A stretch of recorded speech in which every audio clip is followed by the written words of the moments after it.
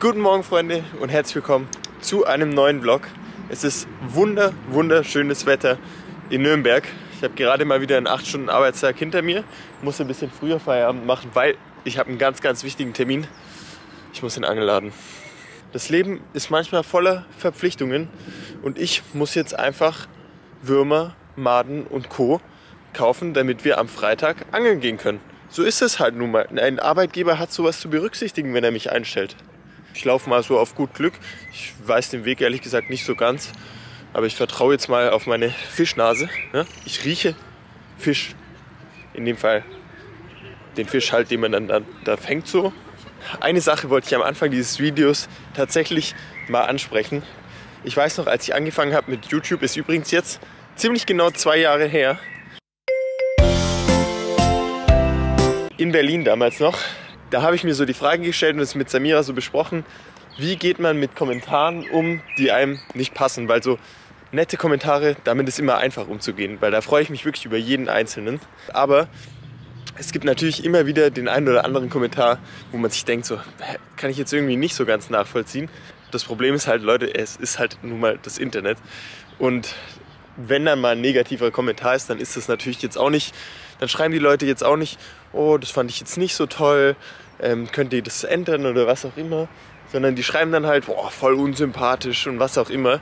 Aber oftmals ist es auch so, dass Leute Probleme haben, meinen Humor zu verstehen oder auch so irgendwie so zu verstehen, wie ich es wirklich gemeint habe, Ironie und was auch immer. Zum Beispiel hat letztes Mal jemand kommentiert, der auf die Szene, in der ich in meinem letzten Vlog gesagt habe, dass Samira im äh, Restaurant eingeladen habe und jetzt das Geld wieder von ihr zurück haben möchte.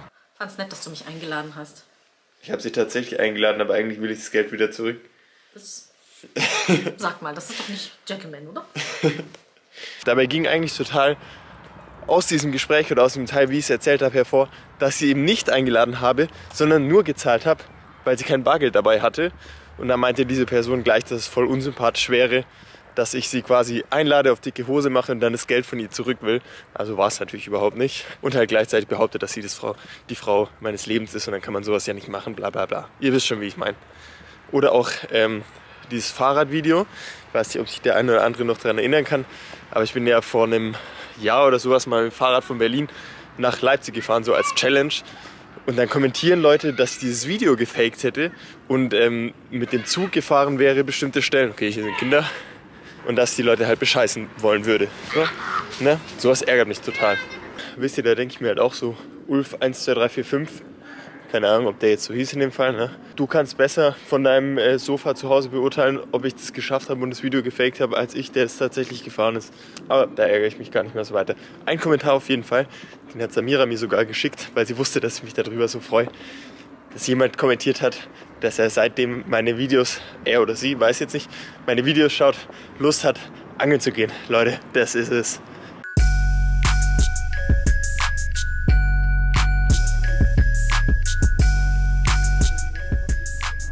Wir haben uns heute eine Pizza selber gemacht, also mit so Fertigteigmischung. Da kommt. Und da klingt das heilige Geräusch. Ja. Wir gucken jetzt gleich prominent getrennt.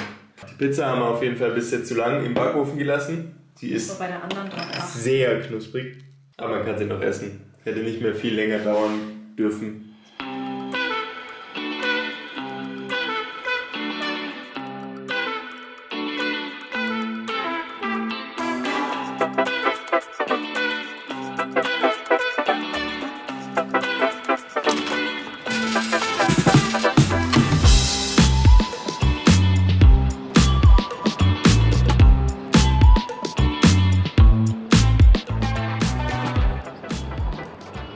Letzte Arbeitsstunden vor dem Osterwochenende, es ist Donnerstag. Alle anderen haben eigentlich schon Feierabend gemacht. Ich habe noch ein paar Aufgaben vor mir. Aber es geht jetzt in wenigen Minuten in das Osterwochenende. Falls ihr euch wundert, wo ich bin, vielleicht sieht man es im Hintergrund. Wir haben eine Dachterrasse auf der Arbeit und es ist mitten in der Innenstadt. Es ist richtig, richtig schöne Aussicht, ich zeige es euch gleich noch. Am Wochenende fahre ich auf jeden Fall nach Hause. Samira fährt nach Hause zu ihrer Familie. Das Gute ist, dass ähm, wir ungefähr die gleiche Strecke haben. Also eigentlich voll krasser Zufall. Denkt mal, wir haben uns im Studium in Bamberg kennengelernt und zufällig wohnen wir auch noch so ungefähr in der Nähe voneinander. Also unsere Familien kommen aus der gleichen nicht aus der gleichen Ortschaft, aber so ungefähr aus dem gleichen Bereich, so auch wenn es trotzdem noch eine halbe Stunde oder so ist. Und das passt immer perfekt mit dem Nachhausefahren. Ich habe auf jeden Fall am Wochenende Happy bei mir. Der kommt mit zu mir und meiner Family. Ist aber am Freitag komplett alleine mit meinem Papa und meiner Mama.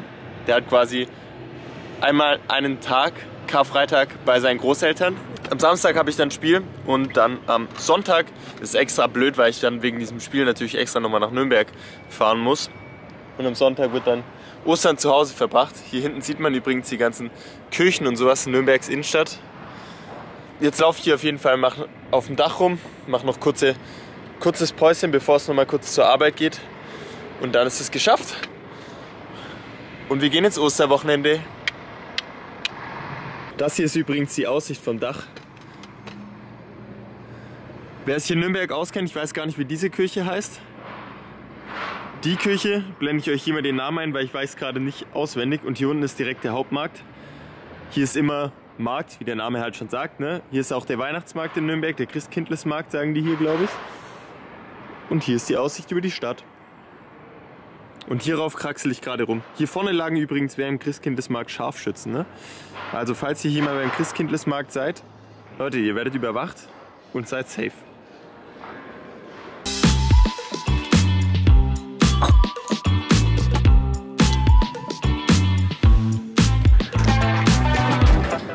Ich bin jetzt gerade noch im Müller und suche nach einem Stativ, weil Samira und ich haben beide unseres kaputt gemacht. Das zweite Mal hintereinander. Gibt es sowas im Müller? Keine Ahnung. Gibt es sowas im Müller? Kurz und knapp. Nein. Schau mal, dein Essen ist angekommen. Schau mal. Schau. Fast hätte unser Hund verhungern müssen. Es war knapp. Zeig mal, wie viel ist noch da? Drei Dosen. Nee, hier noch. Ah, nee. Fast gestorben gerade. Also das hier ist, glaube ich, die Hälfte von allem, was wir bestellt haben, gell? Das zusammen ist die Hälfte. Also ich habe 48 Dosen davon Ja, aber bestellt. schau mal, das sind safe 48 Dosen, Schatz. Könnte sein, vielleicht hier, hier müssen dann auch nochmal 48 drin sein. Also wir haben wieder für zwei Monate bestellt. Gell, kleine Mausi? Dir geht's so gut bei uns. Hier gibt's so viel Essen. Wollen wir mal nicht erwähnen, dass wir Rabeneltern waren und ihn fast verhungern lassen. Nein, ich hab, hätte ich nicht gesagt, hättest du gar kein Essen bestellt wahrscheinlich. Gell, Schatz? Papa wollte dich äh, aussetzen, weil er gesagt hat, du bist zu teuer. Sparkurs, Happy, Sparkurs.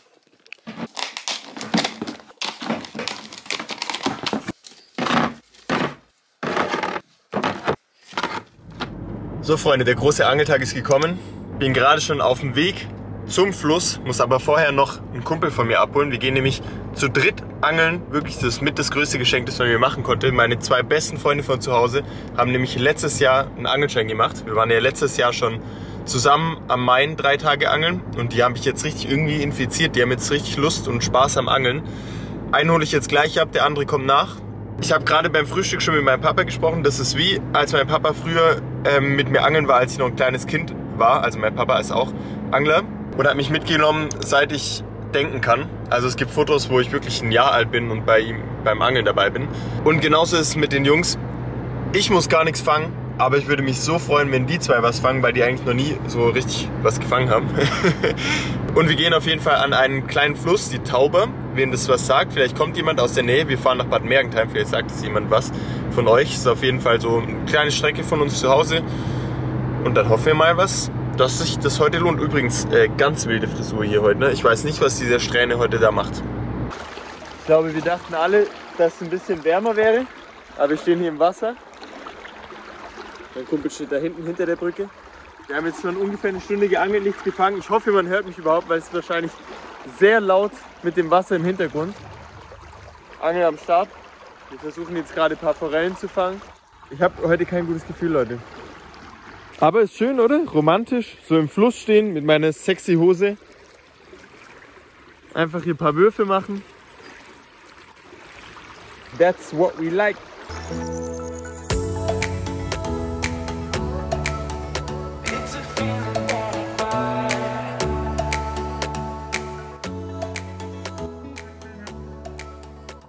Sag's euch, wie es ist. Hab ich mir irgendwie einfacher vorgestellt. Aber findet ihr meine Hose? Mädels, 10 von 10. Mein Outfit heute eine 10 von 10.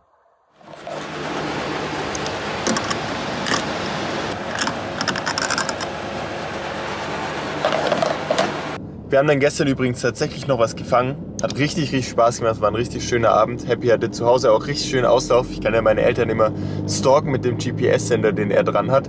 Dann sehe ich immer, wie weit er läuft, welche Strecken die laufen, alles Mögliche. Aber die sind richtig toll mit ihm gelaufen. Meinen Eltern macht es auch immer sehr, sehr viel Spaß, wenn die ihn Happy haben, weil die sehr gerne spazieren gehen, weil die sehr gerne in den Wald äh, große Strecken laufen, alles Mögliche. Und heute, ihr seht es wahrscheinlich schon, ist Spieltag. Ich habe meine Spieltagsklamotten an und bin jetzt gerade auf dem Weg nach Nürnberg. Besser gesagt nach Schwabach. Schwabach liegt von meiner Seite aus ein bisschen näher, also vor Nürnberg. Und wir haben heute Spiel gegen den drittletzten bei uns in der Tabelle. Wir sind aber auch schlecht, also nicht gut dieses Jahr. Das ist total komisch, sind voll viele äh, richtig gute Einzelspieler, aber als Mannschaft funktioniert es einfach nicht so. Deswegen muss heute unbedingt ein Sieg her. Freunde, ihr drückt die Daumen, auch wenn ihr das Video einen Tag später erst seht. Denn wir wollen dieses Spiel heute gewinnen. Wetter lässt leider ein bisschen zu wünschen übrig. Kriegen wir trotzdem hin, würde ich sagen. Freunde, push the downs and uh, we win this today. You know what I mean. You know what I'm talking about. Thanks you for your attention.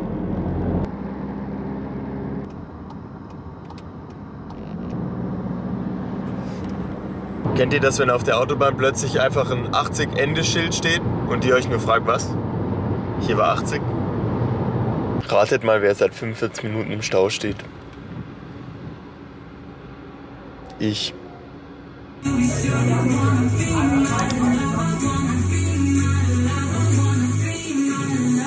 So, Freunde, und genau so beendet man einen Vlog. Wir sehen uns beim nächsten Mal. Vielen, vielen Dank fürs Anschauen.